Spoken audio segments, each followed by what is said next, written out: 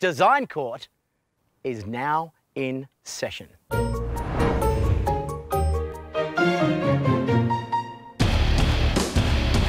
Yes, I'm very, very confident about this. I'm sure we will do well, and I can't wait to see what happens.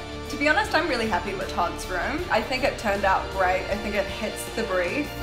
I have one job and one job only on the apartment, and that is to judge the slow and the weak and kill them. Team Rocket. CEO, Chief Creative Officer. Really? That's and so interesting. now she is the CEO, and you're cleaning the toilets. For Rocket to say that he came up with basically everything in the room and it's his is just ridiculous. Do you honestly think you could have made that room without me and Olga? I mean, really? Really? Team Vlad. I literally had three minutes to do that. They didn't even help. They were downstairs crying. I don't think that's funny. I cannot work with Elin. It's like shooting a dead horse that's already dead. Vlad, just get rid of the chip on your shoulder for whatever reason it is. I see your eyes roll. I see your head go like this. It's just it all.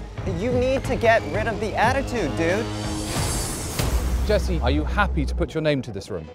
I'm not.